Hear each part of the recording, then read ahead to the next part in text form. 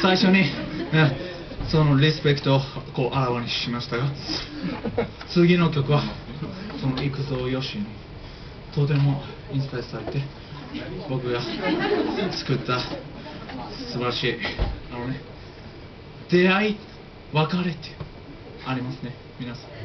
でも別れも辛い、うん。でもねそれをお酒を飲むことで。辛い別れも癒してくれそしてお酒を飲むことでその別れというものを新たにつないでくれる。あこのソウルのジャパニーズソウルミュージックエクスドヨシに僕もあのハーフなの青森と仙台のハーフ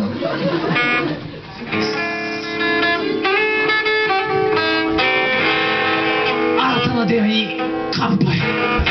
聞いてください。別れ酒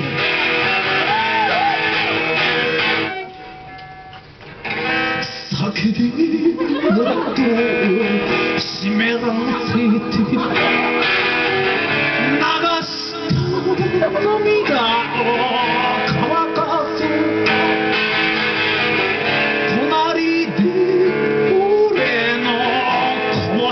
こぼした口をそっと殴ってうなずくお前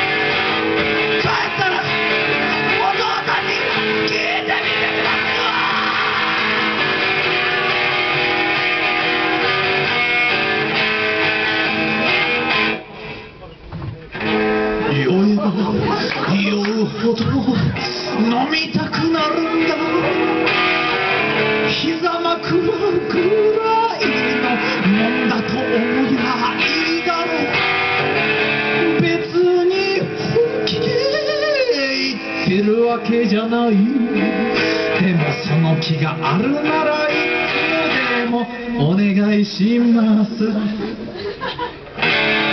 いが回れば下の方へと。寄ったい距離でまた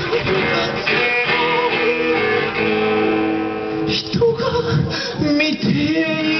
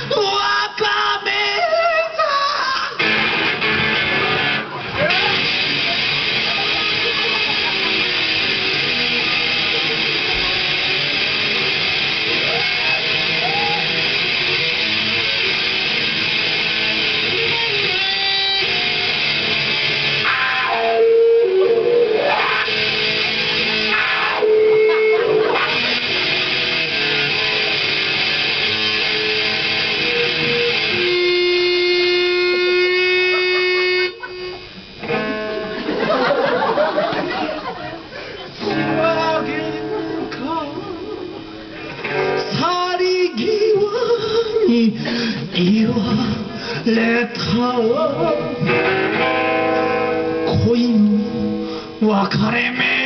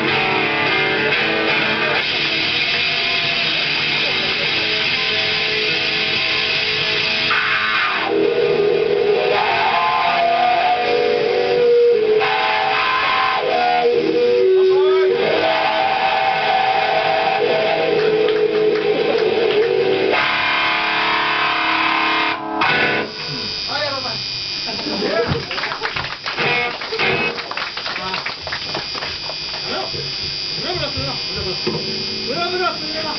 ブラブラ